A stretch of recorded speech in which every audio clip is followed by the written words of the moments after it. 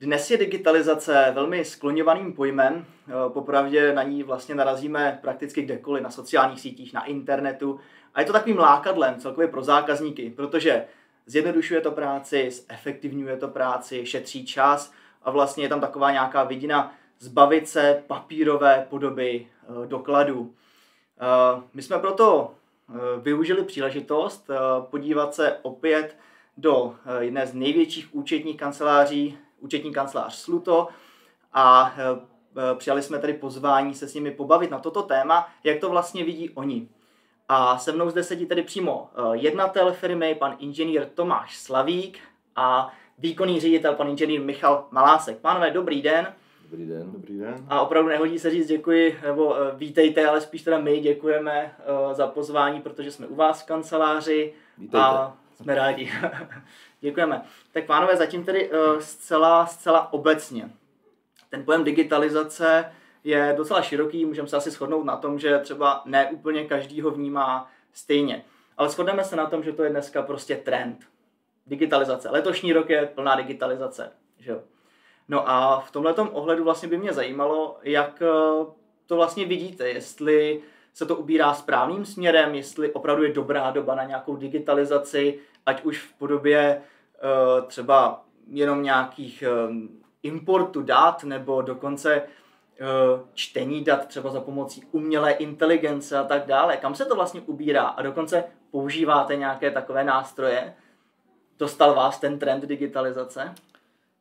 Samozřejmě my musíme zodpovědně kontrolovat trh, sledovat dění, technologie, možnosti, nabídky takže relativně jsme seznámeni se všemi produkty, které na trhu existují v dnešní době. Spoustu jsme jich testovali. Nicméně já bych tomu pojmu digitalizace eh, se snažil rozdělit minimálně na dvě části, protože ta digitalizace mnohdy popisuje eh, zpracování nějakých přijatých informací, dokladů, něčeho podobného. A my jakoby spíš tlačíme na to, aby ty vstupy, to znamená ty, ty, ty, ty, ty doklady, které tvoří ten podnikatel, aby už tu digitalizaci jakoby aby předcházeli, aby vlastně ji umožnili. To znamená, eh, je to o tom, že není, není potřeba vytisknout fakturu do, do, do papírové podoby, vyexportovat do PDF, ale už při, tom, při té tvorbě toho dokladu uh, se snažit udělat to pro toho příjemce toho dokladu příjemnější. To znamená, ta digitalizace začíná úplně jinde, než se třeba dnes jako píše, že oni většinou, ta propagace je druhá část té digitalizace. A pro nás je zásadní, a snažíme se podnikatele tak směrovat, aby k nám se už dostávaly ty doklady vytvořené nebo připravené pro to efektivní zpracování. Digitalizace je pojem. Efektivní zpracování jakéhokoliv vstupu. Ať je to datový soubor, ať je to minimální QR kód, ať jsou to prostě nějaké XML, ať prostě není to ten dokument v nějaké papírové viditelné podobě. Ten v podstatě je pěkný a náš obor je relativně konzervativní, takže spousta účetních má rádo papíry, a vidí ty doklady a věří jim v té chvíli, když je jako vidí, takže té datové podobě moc nevěří a těžko se samozřejmě potom uh, to třeba kontroluje, ale my tlačíme na ten začátek. Na tom konci nebo na tom přijatém dokladu samozřejmě využíváme možnosti, které jsou ověřené, které jsou stoprocentně správné, kde můžeme věřit uh, té funkcionalitě. A uh, o tom se budeme bavit za chvíli, předpokládám konkrétně. Určitě, určitě, ale vlastně, jak jste říkal, tak je to opravdu o tom, že ta digitalizace teda nezačíná už tím, že já něco vlastně budu importovat, ale ideálně tím, že někdo vlastně něco vygeneruje. Přesně, když to bude exportovat, tak v té chvíli ta digitalizace začíná. Jako. Jasně, jasně. Ano, a pak je to vlastně ta, ta, to druhé, co jste říkal, že vy děláte vlastně, nebo máte metody, nebo zastáváte uh, postupy, které jsou stoprocentní. Ano. Tak a teď jako jestli vlastně opravdu tady tenhle ten trend digitalizace, jestli, jestli vlastně tu stoprocentnost, jestli garantuje, jestli opravdu jako, protože vy jakožto veliká účetní kancelář, tak eh, neřešíte pár dokladů měsíčně, ale opravdu ten objem těch dokladů je celá řada. Takže je vlastně vůbec takové to, ta myšlenka, že třeba aspoň to zkusíme, nebo dokonce jestli s tím už máte zkušenosti, anebo opravdu jako ta starost o to, že to pořád stoprocentní třeba úplně není, tak to si nemůžete dovolit. Tak eh, vzhledem k péči, eh, kterou do účetnictví našich klientů vkládáme, tak si můžeme dovolit používat pouze osvědčené eh, postupy a formáty. A nemusí se jednat pouze o faktury, můžou to být i bankovní výpisy, tedy propojení účetního systému prostřednictvím API s bankovnictvím. Mohou to být i datové formáty, které jsou osvědčené a fungují, zavedené, což jsou ISDOC, XML, CSV, tyto. Souhlasím. No a když jsem vlastně zmínil tu umělou, tu umělou inteligenci, tak to vlastně jako přišlo tak, tak strašně rychle vlastně tady jako semka k nám, že uh, byl vůbec jako prostor nějak jako to pořádně vyzkoušet, otestovat. Můžou dokonce dneska jako s jistotou říci některé firmy třeba, že používáme to, používáme to proto, protože to opravdu je, je dobrý, ta umělá inteligence se učí se s námi a, a ty další vlastně jakoby psané nějaké víry umělé inteligence, protože vy vlastně jako svěříte doklad a citlivé údaje vlastně svěřujete relativně jakoby neznámému nástroji, že jo? stroji, počítači vlastně. Jak se na to vlastně koukáte? No, umělá inteligence je podobný pojem jako digitalizace. Obecná, obecný pojem, který se pochopitelně přetřásá a je to jako na pořadu dne a musím se přiznat, že si s ní zahráváme, i my u nás. Samozřejmě zatím jako v testovacích různých jako možnostech, protože uh, jako ne, nemáme možnost implementovat třeba, já nevím, vytěžování dokladů jako na, našimi silami. To znamená, jako jsou služby, které třeba dneska nazývají tu, tu, tu činnost umělou inteligenci, že za ně třeba ty údaje vyčítá umělá inteligence. No je to pořád stejný algoritmus, jaký byl dřív, jenom je pojem, pojem moderní umělá inteligence, jak se tomu říká umělá inteligence, ale kdo trochu ví, tak umělá inteligence je prostě spousta pojmů prostě v různých oborech, v různých oblastech, v různých možnostech. My Eh, ale to uhýbáme trochu od dokladu, od pohody, ale umělou inteligenci třeba se snažíme používat při komunikaci. Eh, při komunikaci s klienty, při komunikaci, při daňovém poradenství, při eh, sestavování nějakých jako článků, textů, komunikace s, písemná s klientem. Tam, jako, tam máme celkem jako úspěchy ve smyslu tom, že i když něco položíme, nějaké, nějaké zadání a uvěříme ten výstup, tak vlastně je správně. A když správně není, no, tak ho opravíme samozřejmě, že to jako laicky se to využít nedá třeba pro odborné věci, ale profesně ano, protože když uvěříme ten výstup a je správně, tak samozřejmě inteligenci říkáme, je to výborně, takže ona má jako odpověď, že to zvládla. A ten trend tady v tomto směru je veliký. Jako to, to samozřejmě komora poradců pro příští rok odsouhlasila relativně zajímavou částku investovat do využití umělé inteligence v oboru daňového poradenství, ale to se dostáváme, to, to není digitalizace, možná je to digitalizace, teď nevím, kam ta digitalizace až sahá, jako jestli je to i umělá inteligence, ale jestli se bavíme o, o, vytěžování dokladů, třeba to znamená, jsme na konci té digitalizace a jsme na konci digitalizace, nebo jsme v té druhé části digitalizace, ale v tom špatném směru, v tom špatném procesu. Vytěžují doklad, který mi někdo nedal v té datové podobě. A my tlačíme na tu datovou podobu jestli mi dá, jestli někdo vytiskne doklad nebo převede PDF, potom musím použít nějaké vytěžování, ale to podle mě není ta, ten správný tok informací. Jo. To prostě tam my třeba nejdeme. My jsme testovali spoustu systémů na, na vytěžování dokladů, vyčítání dat a možná to tady mohu říct, i vlastně ti, ti dodavatele, ti výrobci deklarují určitou chybovost v tom vyčítání a deklarují třeba 5%, respektive obráceně 95% je správně, to je pozitivní sdělení. A my jsme vlastně nikdy nezjistili, nebo zjistili, ale neříká se to, kde je těch 5% té chyby. Ono to není v počtu dokladů. Ono je to na každém dokladu může být 5% údajů špatně. A v té chvíli je neuvěřitelně efektivní práce vlastně kontrolovat to, co by mělo být automatizované, protože my nevíme, která chyba je ta, těch 5%, který údaj, kde, jestli se správně převedl. To znamená, ty naše kolegové, kolegyně, uh, účetní, oni jakoby musí věnovat úplně stejný čas té kontrole toho dokladu, byť je vytěžený, jako když dostanu v nějaké vizuální podobě. Takže my vlastně jsme takovýto systém neimplementovali, byť jsme 4-5 systémů otestovali zodpovědně na ostrých datech a nikdy jsme to neaplikovali do praxe. Rozumím. To znamená, že kdyby najednou třeba přišel den, kdy bude prostě výrobce takového, eh, takového systému garantovat třeba 0,0 1% chybovost, tak tam pravděpodobně už by člověk třeba o tom To už by se dalo uvažovat, hledat tu setinu je taky problém, ale možná by třeba to byla drobnost, která by nemusela vadit veškerým dalším naším zodpovědnostem. Mohli bychom garantovat správnost naší práce. Tak určitě budeme to monitorovat a eh, jak jsem říkal, je vlastně možná teprve brzo ještě třeba teďka momentálně očekávat nějakou bezchybnost takovýchhle těch postupů, takže uvidíme, jak se to bude vyvíjet do budoucna. My se vydáváme cestou právě té bezchybnosti, tedy to, co je konzistentní s tou myšlenkou digitalizace. Tam, kde je chyba, tak ta účetní skutečně tráví neproduktivní čas na dohledávání chyb a opravování. Tu konzistentnost to myslím v tom smyslu, že ten datový formát se jedna ku jedné naimportuje do účetního systému. V podstatě bezchybně je to osvědčené a to, to je v podstatě záruka správnosti výstupu, ne dohledávání chyb a trávení tohoto času nad zkoumáním chyb mm-hmm. cizího nebo třetího systému.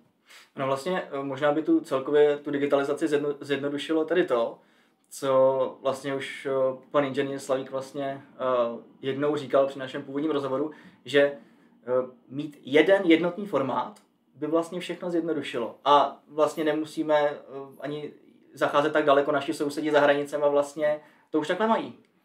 Ano, to jsem samozřejmě slyšel, že už i v Polsku v podstatě nějaký, nějakou u nás bych řekl prováděcí vyhláškou v rámci legislativy eh, definovali nějaký formát, který musí každý akceptovat, který v podstatě jako by měl být ten, kdy já když pošlu v tomto formátu někomu doklad, tak je automaticky ověřený, že správně ten doklad, že, že prostě ho ten, ten příjemce musí zpracovat, musí umět zpracovat. Musí na to být systémy samozřejmě.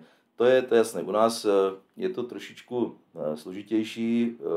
Když jsem se bavil s kolegy, tak v podstatě eh, do zákona taková věc eh, prý nepatří, eh, což jako rozumím, že zákon by měl být trošku obecnější, ale není třeba v návrhu nového zákona o učednictví, který má platit od roku 25, uvidíme, tak vlastně je zase pořád benevolence v tom, že ten zákon jako tu digitalizaci neomezuje, nicméně jako nevyžaduje. Mm-hmm. No, je tam, jsou tam prostě ustanovení, kde jako v podstatě můžeme, se, můžeme ty doklady si vyměňovat, vystavovat tak, jak je vystavujeme teď.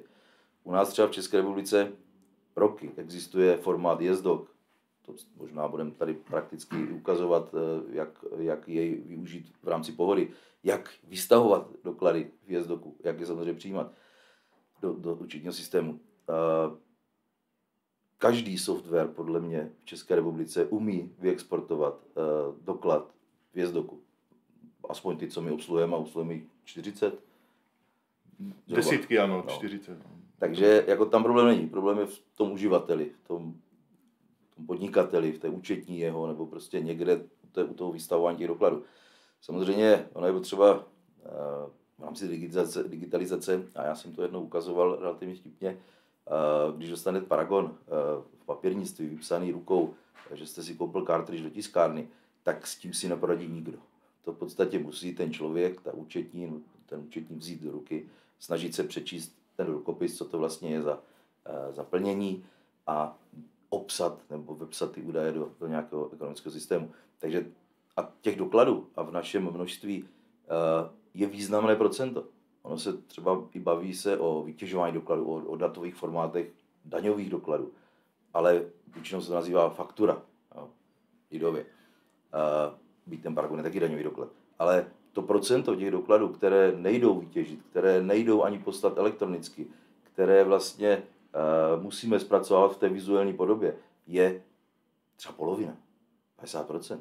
Takže my, když se bavíme o tom jako nějakém vytěžování nebo prostě datových formátech, tak řešíme třeba 50% dokladů.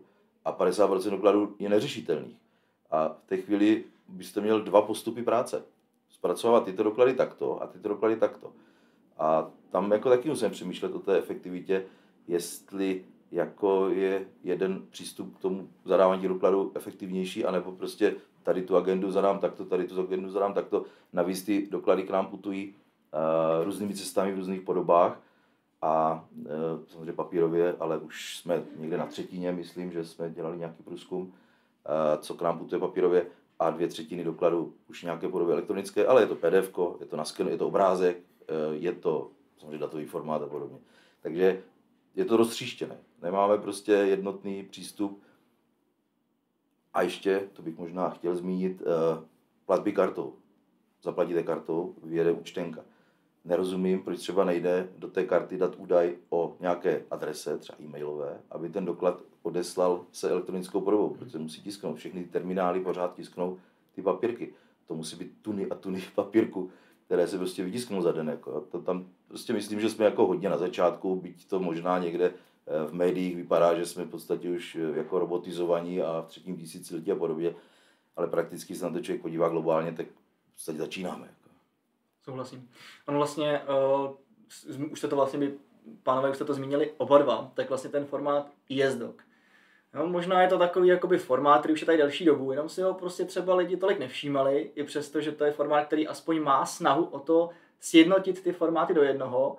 A výhoda toho je vlastně, to říkal tady pan inženýr Lásek vlastně, že eh, je to stoprocentní, vím, jaká data tam jsou a jedna ku jedný se mi naimportují. To je vlastně to důležitý. Eh, takže s tímhle formátem normálně se setkáváte, používáte ho, nebo jaké třeba výhody další třeba můžou být. Ať už to je třeba elektronický podpis, posílají třeba klienti elektronicky podepsaný takovýto formát, vlastně elektronický podpis, který je víceméně na úrovni ručnímu podpisu, tak... Eh, Výhodou to ISDOKu je uh, jednak uh, ta konzistence těch, uh, těch dat, ale také pokud uh, dojde k, uh, k importu nebo vlastně k exportu faktury, včetně ISDOKu, tak i ten uživatel, ta protistrana, ale i ten vystavující vidí vizuálně mm-hmm. to, co zpracoval, to, co eh, fakturuje, nebo to, co komu zasílá. To je to kouzlo, to izdoku. A to, že je tady roky a roky a byl dlouho opomíjený, opomíjený tak si myslím, že v současné době sledujeme napříč našimi účetními postupný nárůst používání izdoku a ne, nemusí to být jenom vystavované doklady v pohodě, je to napříč různými mhm. systémy hmm. i jinými ale tady ten rozmach, eh, myslím, že to podnikatele začínají chápat. Určitě ono vlastně ještě možná eh, tomu pomáhá to, že teď teda budu mluvit přímo o pohodě, tak vlastně ISDOC eh, může být už součástí PDF, kdy vlastně už nemusíme jakoby řešit víc souborů, protože ze zkušenosti vím, že když ještě to nebyl tak známý formát, tak někomu, když přišel vlastně soubor s koncovkou ESDoc vlastně do e-mailu, tak lidi vůbec netušili, co s tím mají dělat. Dneska PDF si otevřou a pokud třeba i pohoda umožňuje importovat vlastně ISDoc, který je přílohou PDF dokumentu, tak to vlastně může taky na pomoci tomu, že se vlastně lidi tomu nebudou tak bránit a jim třeba PDF prostě blížší. Jasně, já jenom, uh, a už jsem tady apeloval na to, podnikatelé, vystavujte doklady v datové podobě, používejte jezdok, přikladejte do PDF. -ku a bychom tady třeba mohli prakticky ukázat, jak třeba nastavit pohodu, aby eh, to takto vystavovala ty doklady a potom už jako toho, toho výstavce pro něj to není žádná další práce. To je prostě jenom o nastavení systému, v nějakých prostě zaklíkat si správně, eh, správně nastavení a to, co jsem posílal eh, dřív pdf tak pošlu znovu pdf Jenom tam mám přílohu jezdo. Je to otázka nastavení, je to jedno jako systému, ale v pohodě je to velice jednoduché. Takže na to apeluji. Zaklikejte si to, vystavujte, posílejte nám, účetním, odběratelům ty doklady v takovéto podobě. Eh, to si myslím, že je to, co pomůže. To je ta digitalizace. A jak vlastně třeba přesvědčit toho klienta, který má to v papírové podobě, a co když prostě ten klient to furt vidí ve smyslu, vy jste účetní firma, vy mi to zpracováváte a jestli já vám to dám v papírové podobě, anebo v elektronické, je mně osobně jedno, protože je to vlastně na vás, jak to děláte. Takže neměl by v tomhle případě třeba zasáhnout ten stát, že by prostě někde v tom zákoně bylo teda, že těm papírům se prostě budeme pomalu vyhýbat, aby prostě vy jste měli méně práce a aby to bylo opravdu jako takový, řekněme, dnes tedy to moderní, ten moderní způsob, jak to prostě dělat. No, to si budeme nahlávat v, v tom počtu klientů, co obsluhujeme, tak taky máme takovéto klienty, kdy si potrpí na ten papír. Samozřejmě ta osvěta od eh, toho účetního tam musí přijít, tam musí být na místě. A eh, co se týče otázky, jestli by toto měl definovat stát, eh, tak proč ne, pokud na tom bude nějaký společenský koncenzus, že toto má dělat stát, nebo nějaký oborový, tak proč ne? Možná ale nesmím zapomenout na dobu nedávnou, kdy stát se potýká s nastavením formátu pro kontrolní hlášení a mnozí daňoví poradci byli v křížku s ministerstvem financí anebo s finanční zprávou. Tedy jinými slovy, proč ne, ale udělejme to nějak pořádně s vědomím toho, že se to bude používat mnoho let a že to bude mít tisíce tisíce podnikatelů. S tím už bohužel my nic neuděláme a není to asi úplně předmětem této diskuze. Takže se možná vrátím jenom k těm formátům, těm souborům, kdy vlastně bavili jsme se o ISDOKu, je to sou, součástí PDF, a teď to PDF má další údaje, třeba takový QR kód, takový nenápadná vlastně funkce, která možná třeba je populárnější v oblasti plateb, jo? že vlastně můžeme opravdu prostě jednoduše naskenovat QR kód, eh, platební údaje se nám přenesou prostě třeba do mobilu a tak dále. Ale dnes už prostě se dá i QR načítat za účelem načtení vlastně dokladu, pokud má QR správný formát. Zase se vracíme k tomu, že ten klient to musí správně všechno nastavit a udělat. To se asi shodneme. Přesně tak, eh, jako ten QR kód eh, je, stra- je ještě jednodušší než, než nějaký datový formát ve smyslu přílohy, PDF a podobně. Eh, je to vlastně vizuální, dá se to vytisknout, je to vizuální podoba něčeho, dá se to poslat fotkou, dá se to prostě prostě zpracovat a obsahuje, a dnes už naštěstí QR kód plus FA nebo nějaká, nějaká podobná značka je u něj, že i obsahuje nejenom platební údaje, ale obsahuje údaje z toho dokladu.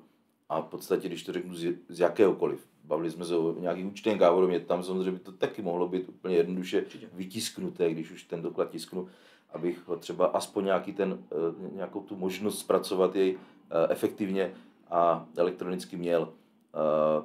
Eh, má to jednu nevýhodu ten QR kód, v pohodě, ale v podstatě všude on nedokáže obsahovat jakoby údaje z té faktury položkově. Mm-hmm. On v podstatě obsahuje hlavičku, datumy, částku a to samozřejmě už nemůže obsáhnout ten QR kód protože on každý systém má trochu jiný přístup k těm položkám v dokladu, eh, trošku jinak jsou definované, takže to prostě by nebylo kompatibilní.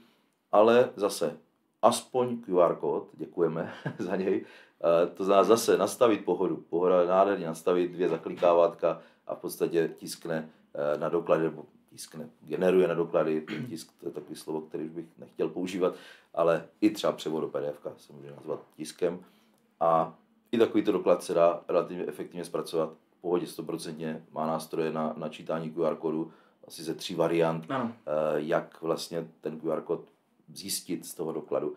A třeba zrovna v pohodě je ještě taková příjemná funkcionalita, když teda načtu doklad z QR kódu, tak vlastně mi ten doklad vezme ten systém a vloží ho do adresáře, do dokumentu, takže u toho záznamu ten doklad ještě vidím navíc jako vizuálně což je jako, což my takto obsluhujeme spoustu klientů nebo valnou většinu, že navazujeme doklady eh, do toho systému pro naši kontrolu, pro přístupí klienti k nám, my přistupujeme ke klientům, takže vidíme obě strany ty doklady, nemáme nic v papírové podobě v té chvíli a tam se dá vložit i ta účtenka z toho papírnictví, z čehokoliv, takže je to taky trend mít ty doklady vlastně přímo v tom systému, je to elektronický archiv v podstatě, mm-hmm. jednoduše se to hledá, najdu doklad podle full textu, otevřu se ji vizuálně takže to je to, co samozřejmě používáme ve valné, ve valné většině klientů, u valné většině klientů.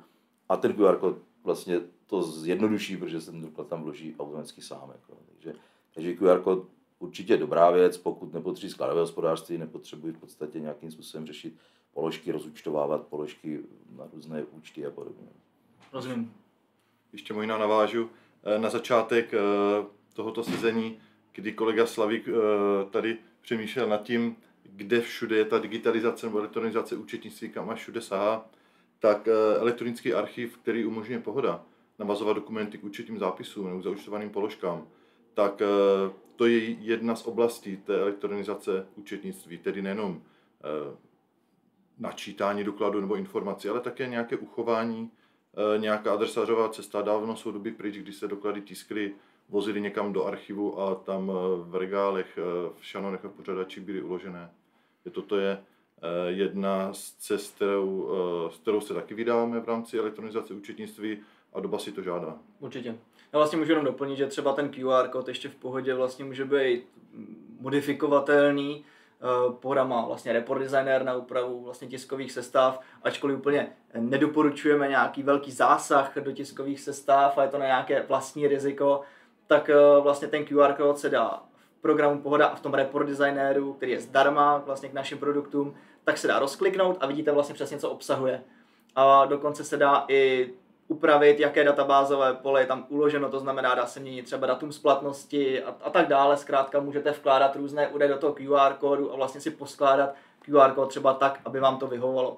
Ten datum splatnosti jsem zmínil z toho důvodu, že například eh, datum splatnosti jsme měnili na třeba aktuální datum vystavení, aby nebyl datum splatnosti až za 14 dní, ale vlastně, aby došlo jakoby okamžitě třeba k té platbě. Jo, ale to už jenom jakoby dávám takovou informaci. No to, o tom nastavíte v lavičce splatnost toho dokladu a se do toho QR kodu přenese, takže tam to udělá vizuálně člověk a u každého dokladu může udělat jinak, že to je... Ale rozumím, ano, dá se s tím pracovat a efektivně. Pak samozřejmě ty výstupy jsou využitelné. Ale já třeba ještě s dovolením, eh, vy jste mluvili o tom, jestli ten, asi jsem to dobře pochopil, jestli ten podnikatel, když nám teda bude dodávat elektronické doklady v nějaké datové podobě, jestli nebude mít pocit, že eh, nám ubyla třeba práce, nebo prostě jestli jakoby to vlastně chceme po něm. Uh, ono to jakoby je samozřejmě na, na, na zváženou. Je to, je to obchodní záležitost, kolega výkonný ředitel zabezpečí nás obchod, ale my vlastně tu podnikateli garantujeme správnost a uh, ověřujeme ty doklady, které nám dodá. Ručíme za spoustu následujících, uh, následujících úkonů.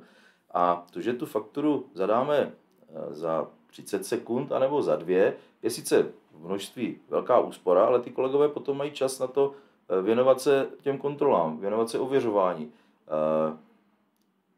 ručit za tu kvalitu toho účetnictví, jako, protože bude precizní. Jo? Takže ta úspora toho času tím od toho prostého zadávání se zužitkuje zase jinde. Jo? Jakože už nebudeme opisovači dokladu, to je trend, to je náš cíl, naše přání, ale toho se možná my nedožijeme. Ale budeme prostě odborníci, kteří budou potom uvěřovat ty údaje, které tam jsou, budou vzít nějaké reporty, budou nějaké vazby, nějaké výhledy a tak dále, prostě poskytovat klientům tak na celkově i ta nákladnost je jakoby jednodušší, když vám to někdo prostě pošle e-mailem, než to prostě zabalit do krabice a poslat no, vám to. Takže těch výhod je tam prostě celá řada. Dobře, a teď jenom ještě v rychlosti třeba k nějakému dalšímu formátu.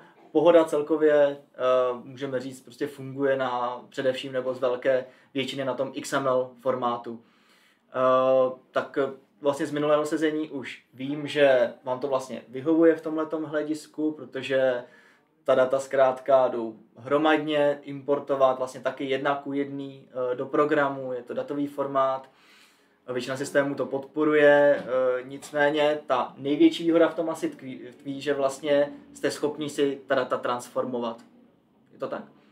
Je to tak. My samozřejmě, teď jsme se bavili o jednotlivých dokladech, když to řeknu USD, QR kód. Ano, to jsou jednotlivé. A, ale my samozřejmě zpracováme eh, od klientů dodaná veliká množství dokladů. No, ať jsou to prostě jejich vydané faktury, eh, které vydávají ze e-shopu, které vydávají z nějakých svých skladových systémů a podobně. A tam samozřejmě eh, je jediný formát XML, prostě pro, tu hromad, pro to hromadné zpracování.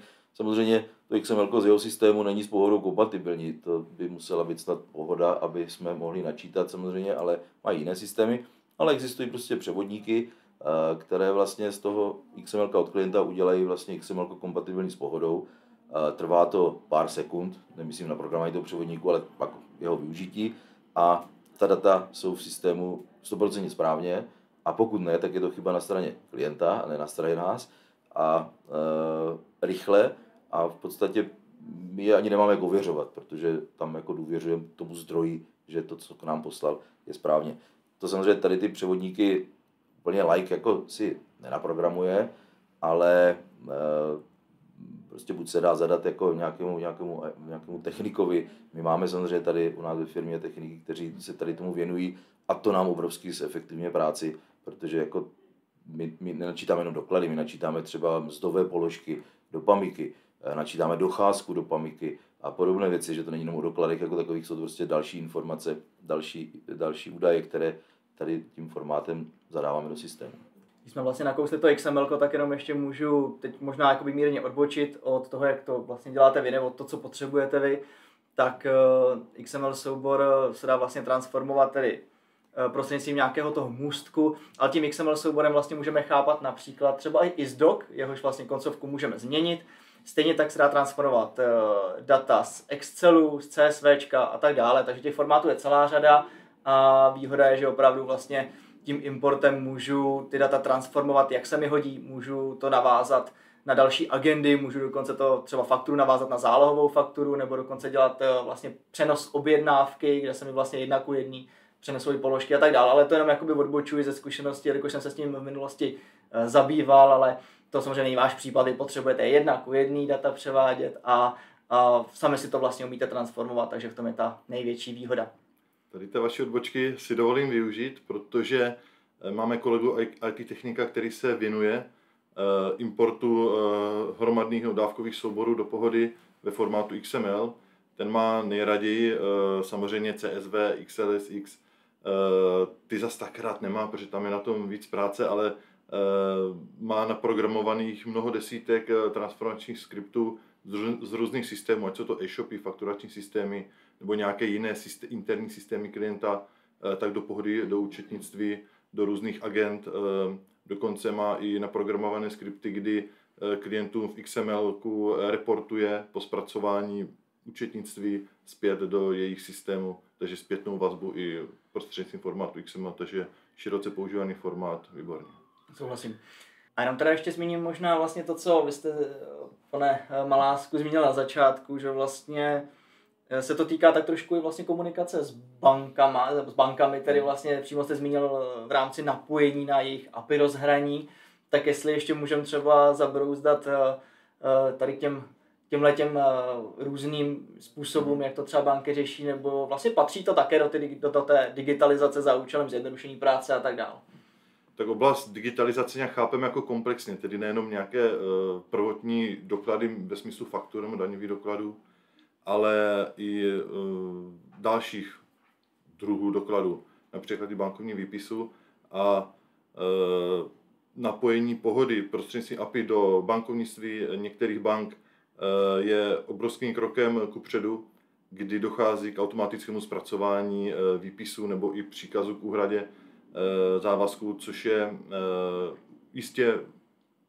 vhodným a výborným krokem eh, k zefektivnění práce účetní a digitalizace celé účetní agendy. Některé potíže mohou vznikat tím, že každá banka má v podstatě svůj vlastní hmm. systém nastavení tady to API rozhraní certifikátu a tak dále, kdy toto samozřejmě není nějak sjednocené, tak mohou vznikat eh, nějaké dodatečné pracnosti, ale při nastavování, při implementaci tady tohoto napříč bankami, každá banka je v podstatě jiná. Eh, někdy dokonce po nějaké době vyprší eh, certifikát nebo platnost certifikátu musí se obnovit. U některých bank je potřeba úzká komunikace s klientem, kdy on musí provést některé kroky, nemůžeme to nastavit my, ale to už je potom na pořadu dne toho dá. Jistě za to vlastně už ani pak nemůže vlastně výrobce toho systému to víceméně, co banka to originál a jestli někdo používá certifikát nebo nějaký token a tak dále, to už zkrátka tím už se musí uživatel prokousat, protože to už si určuje samotná banka. Přesně tak. Dobře. Já třeba jenom s dovolím doplním, jak jsme se bavili, že zpracováme jenom stoprocentně funkční uh, komunikace, výměnu dat, tak samozřejmě API s bankou je 100% jako bezchybná, takže to je trend, který pochopitelně je a který my plnohodnotně jdeme jako u klientů tam na tom není co eh, zkoušet, respektive proč váhat. Určitě. A možná ještě jenom teda poslední věc, eh, co se týče teda té, té bezpečnosti třeba, když se zase vrátíme na začátek, kde jsme říkali, že vlastně někdo svěří třeba ty doklady nějakému, nějakému stroji, který ta data zpracovává. Jako, myslím to z ohledu vlastně, kam ty data teda vlastně se dostávají. Přece jenom jsou to citlivé údaje. Jsou tam, ať už nemyslím teďka platební údaje, že jo, ale každopádně údaje o tom, dodavateli, odběrateli a teďka ty data jsou někde ve vzduchu, jsou někde jako v nějakém uložišti a teď jako my nevíme vlastně podle mě doteď, jestli se ty data pak likvidují nebo mají nějakou životnost a jak vlastně jako se s nima nakládá, protože přece jenom i kdyby někdo používal umělou inteligenci, tak se učí na základě vstupních dat, takže vlastně ty data má k ním přístup, vidí je samozřejmě. Jo.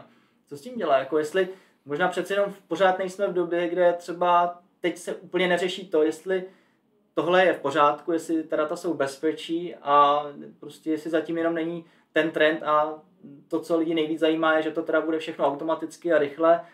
Měli by myslet možná i na tu bezpečnost?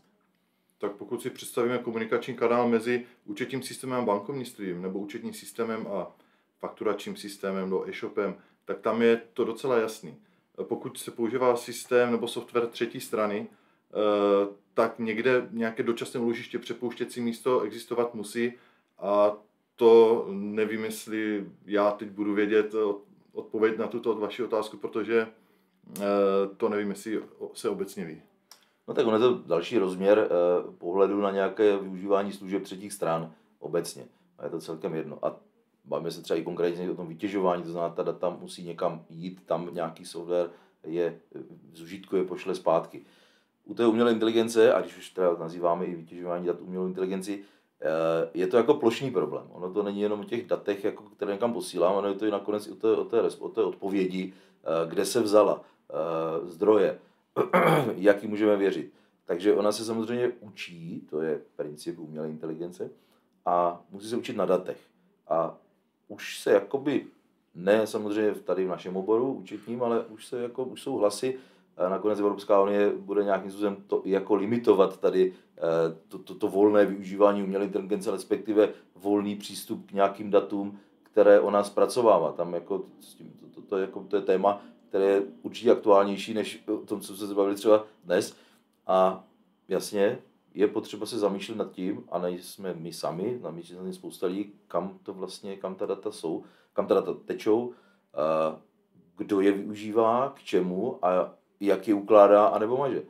O tom není žádná informace nikde. Jako. Přesně tak, takže možná vlastně jenom můžeme doporučit, že uživatelům, kteří by se chtěli nebo chtěli, kteří by chtěli svěřit vlastně ty data do rukou nějakého takového nástroje, aby minimálně o tom přemýšleli, aby si třeba i zjistili, co to je za nástroj, anebo se zeptali teda na výrobce aplikace třetí strany, eh, jak s těmi daty vlastně je nakládáno, jestli mají nějakou životnost, nebo zkrátka, aby si prostě ověřili, že nakonec nedojde k nějakému, nějakému úniku dat nebo něco takového.